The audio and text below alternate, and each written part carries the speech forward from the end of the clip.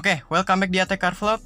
Jadi kali ini vlognya bakal sedikit berbeda karena kita uh, bikin vlog tentang mobil yang berbeda ya. Jadi ini adalah Toyota Agya TRD Sportivo tahunnya uh, kalau nggak salah 2016 atau 2015 gitu. Dan ini yang versi 1000 cc karena pada saat itu belum ada versi 1200 cc ya. Kan versi 1200 cc itu baru di 2017 ke atas. Nah, jadi ini TRD Sportivo Matic yang 1000 cc. Kali ini kita bakalan pasang head unit double din touchscreen mobil ini.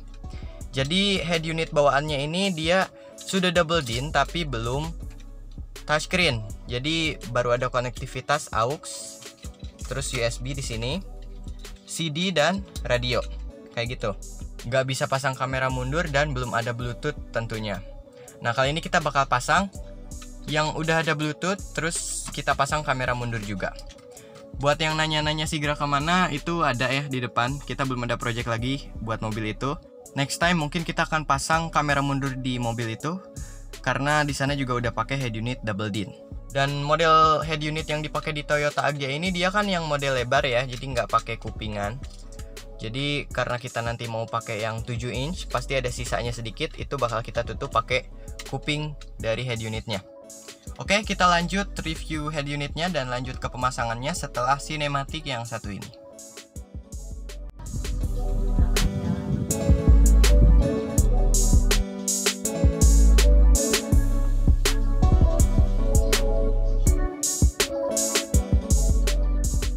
Unitnya ini kita pakai brand Vito ya. Jadi di dalam sini ini aku udah request soket plug and play. Jadi ini yang nyolok ke head unitnya dan ini langsung ke soket mobilnya. Jadi ntar kita nggak perlu ngerangkai kabel ke sini. Karena e, penjualnya kebetulan dia ngejual juga soket plug and play jadi sekalian aja biar nggak bongkar-bongkar kabel.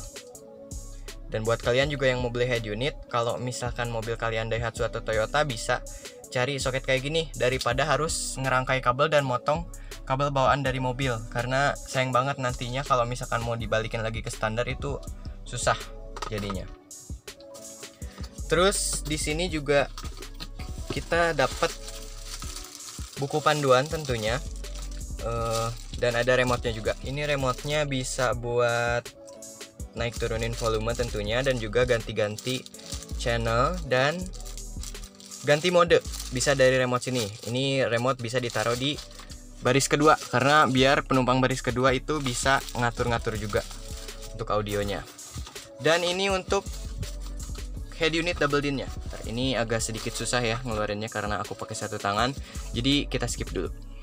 Ini ada tombol-tombolnya jadi nggak tombol kapasitif ini tombol fisik untuk tombol on off nya terus naikkan volume terus tombol home itu fisik tombolnya. Kalau yang dipakai di Sigra itu kan dia tombolnya kapasitif ya touchscreen full touchscreen jadi kalau lagi nyetir tuh kadang agak susah ngoperasiinnya karena berasa nggak mijit tombol. Kalau misalkan yang ini itu ada tombol-tombol fisiknya. Jadi buat naik turunin volume itu bisa enak pas nyetir karena kita nggak pasang audio steering switch. Kecuali kalau pasang audio steering switch nggak masalah ya. Dan ini konektivitasnya seperti yang aku bilang dia udah uh, eh, SD card terus aux USB dan belum ada CD tapi udah ada Bluetooth dan sudah mirror link. Kayak gitu. Jadi fitur yang nambahnya itu adalah SD card karena di sini nggak ada SD card. Udah jelas di sini cuma aux sama USB doang. Nih di sini ya. Terus uh, kalau CD memang hilang ya. Jadi karena head unit bawaannya ada CD terus di head unit berikutnya ini yang mau kita pasang nggak ada CD-nya jadi satu fitur berkurang. Tapi nambahnya ada sekitar tiga fitur. Yang pertama tuh tadi SD cardnya ini terus ada Bluetooth dan mirror link. Terus bisa juga untuk pasang kamera mundur. Ini kamera mundurnya. Kita beli juga di online shop. Ini udah termasuk kabel-kabel dan segala macamnya dikasih panjang banget. Jadi cukup ntar buat nyambungin nggak perlu pakai kabel tambahan. Dan ini kameranya sudah lengkap dengan LED jadi kalau malam-malam tetap kelihatan ya ini night vision juga. Dan ini dikasih baut juga. Lalu ada kabel lagi. Dan ini ada diagram instalasinya. Nah sekarang kita pasang semuanya head unitnya ini sebelumnya ya ini harganya itu cuma 555.000 belum termasuk ongkos kirim. Dan untuk kamera mundurnya ini harganya 60.000 kalau nggak salah. Itu juga belum termasuk ongkos kirim. Dan kita lihat hasilnya kalau pakai brand-brand yang harganya cukup terjangkau apakah hasilnya bisa bagus? Pokoknya lihat aja sampai beres jangan di skip-skip videonya. Dan tahap pertama sekarang kita bakalan buka dulu framenya dan buka head unit bawaannya oke buat kalian yang belum subscribe bisa klik dulu tombol subscribe di bawah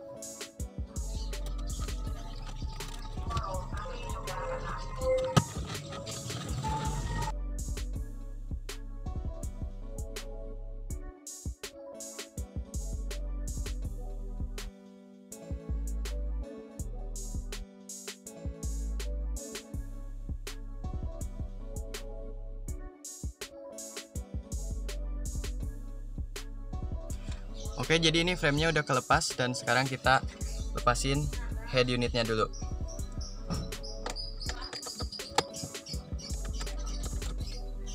Di sini ada beberapa baut ya itu langsung kita lepas aja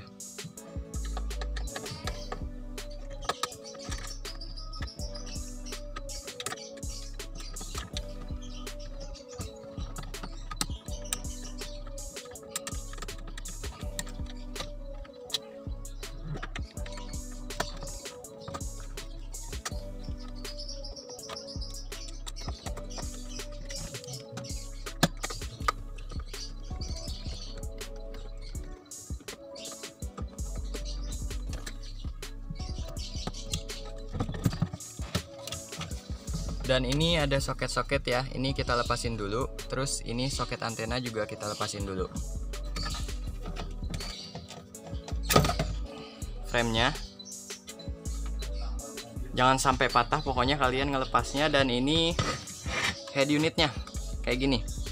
Ini perbandingan antara head unit double din aftermarket dan head unit double din bawaannya. Nah lebih kecil ya sebenarnya yang ini tuh yang versi lebarnya dan yang ini 7 inch yang nggak lebar. Jadi kita harus pasang kupingan di samping-sampingnya. Oke sekarang kita langsung pasang di mobil ini.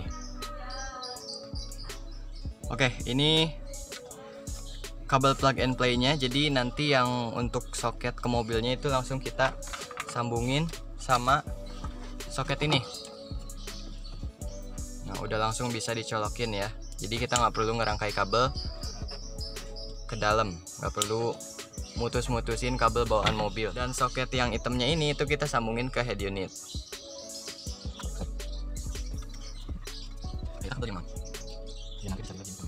Nah udah kepasang kayak gini ini ada beberapa kabel yang nggak kepake. Coba kita nyalain dulu. Dan antena jangan lupa dipasangin lagi ya nah ini nyala.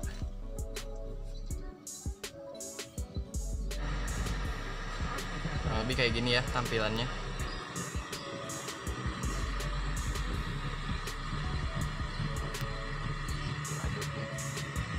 Nah di sini ini ada untuk bluetooth terus juga ada auto link ini buat mirror link ya dan ada radio USB dan segala macam. Pokoknya ntar kita review lagi setelah pemasangan. Sekarang kita pasang dudukannya dulu biar bisa langsung ditempel ke mobil. Nah ini dudukannya dari head unit bawaannya kita lepas dulu yang besi ini ya. Ntar kita pasang ke head unit aftermarketnya. Dudukannya udah kepasang terus kupingannya juga ini udah dipasang kiri kanan. Kalau udah kayak gini tinggal dipas-pasin terus kita langsung baut ke mobilnya.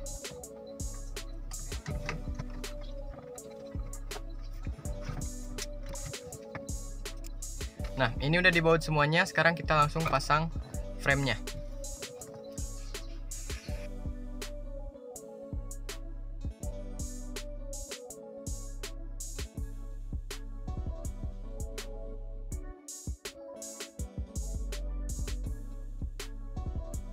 kayak gini tampilannya setelah terpasang dan setelah selesai. Ini kita udah pas-pasin juga dudukannya ini udah rapih ya. Walaupun memang nggak presisi banget karena framenya ini agak sedikit cembung sedangkan si head unitnya itu yang aftermarket lurus datar gitu jadi kalau misalkan head unit yang orinya itu dia pas banget sama framenya ini nggak terlalu pas tapi udah kebilang cukup rapi dan di sini di layar utamanya layoutnya seperti ini itu ada tampilan-tampilan kayak kita bisa ngerubah-rubah mau ke menu bluetooth atau lain-lain radio misalkan dan ini untuk mirror linknya kita bisa pakai USB terus untuk pengaturan di sini juga kita bisa setting-setting brightness dan segala macam terus untuk equalizer dan pengaturan suara juga bisa kita setting dari sini. Ini suaranya misalkan mau disimpan di kiri depan atau kanan depan atau kiri kanan belakang itu kalian bisa atur-atur di sini.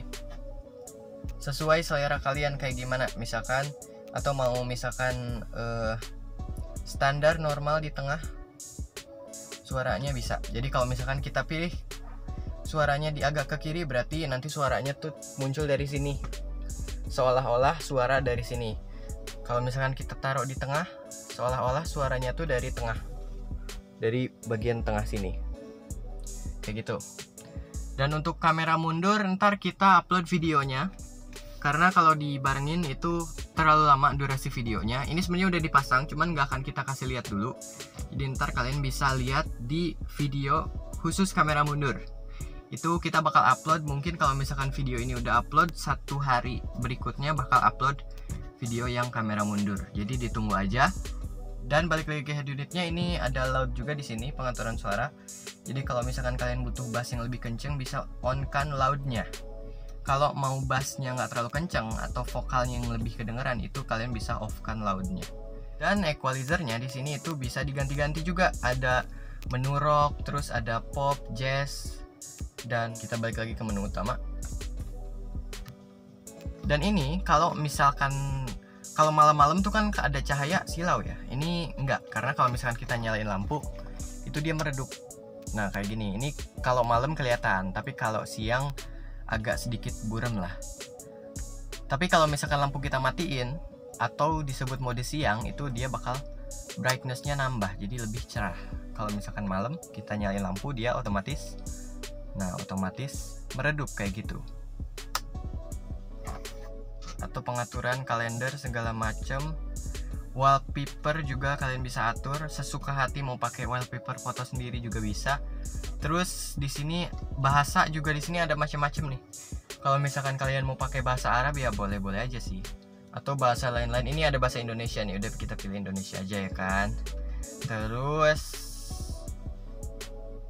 udah sih itu aja oke kayaknya cukup segitu aja video kali ini next satu hari berikutnya setelah upload video ini atau paling lambat tiga atau empat hari lah ya. Intinya setelah video ini keluar bakal ada video tentang pemasangan uh, kamera mundur. Itu lengkap dengan review dan tutorialnya juga. Kalian bisa ikutin terus. Dan kita juga mau poles catnya karena catnya ini udah agak sedikit buram jadi ada jamur-jamurnya gitu makanya kita mau poles juga biar sekalian kinclong lagi oke okay, kayak gitu dulu. Jangan lupa buat kalian yang belum subscribe bisa subscribe di bawah. Dan kalau kalian suka dengan video ini bisa klik tombol like serta komentar di bawah kalau kalian mau menyampaikan sesuatu atau request tentang video selanjutnya. Next project selanjutnya kayaknya kita balik lagi ke Sigra. Kita juga bakal pasang kamera mundur di sana. Oke terima kasih sudah nonton dan sampai jumpa kembali di video berikutnya. Bye bye